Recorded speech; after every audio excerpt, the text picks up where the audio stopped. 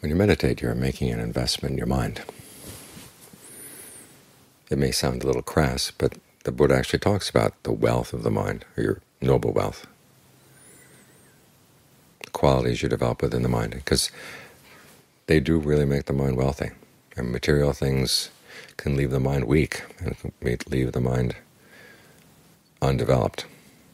You see this with people who have lots and lots of things in their life and lots and lots of entertainments they tend to get very picky, and ha things have to be this way, have to be that way. And then when things are not that way, they just fall apart.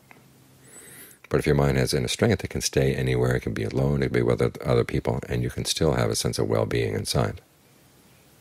So that's what you want to invest in, is that skill to find that well-being wherever you are. Because sometimes life has its ups, and other times it has its downs. But you want to be able to keep your mind on an even keel. So you have to look after the mind and realize the mind is the most important possession you've got, so that when it's going up into the stratosphere, you know how to gently bring it down. And when it's down in the dumps, you know how to bring it up. This ability to step back from your own mental state is an important one. Last night we talked about clouds, and how in the time of the Buddha, a cloud was the biggest thing they could imagine, because a, a cloud could cover the whole sky.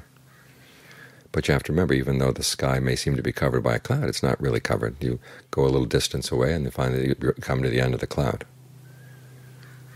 And it's the same with a bad mood in the mind. It may seem to cover everything, but you pull back a little bit and you say, well, it's not everywhere. There's still a little drop of sun someplace, so you look for that. And that's when you realize that you don't have to be just subject to what happened in the past. This is called conviction in the power of karma that you can make a difference right now in your state of mind.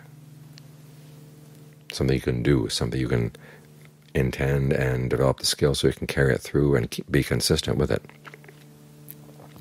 Having that conviction right there is a form of wealth. So hold on to that conviction that what you do right now is important, and the best thing you can do right now is to look after the state of your mind, because everything else comes out of that.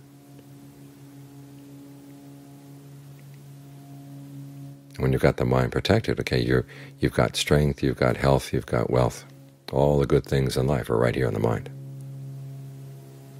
Even though they may leave the body at some point, but the, when the mind has its possessions like this, it can go anywhere. You can even leave this life and go to another one and not, not feel any regret, not feel any fear. So invest some time and energy in this form of wealth,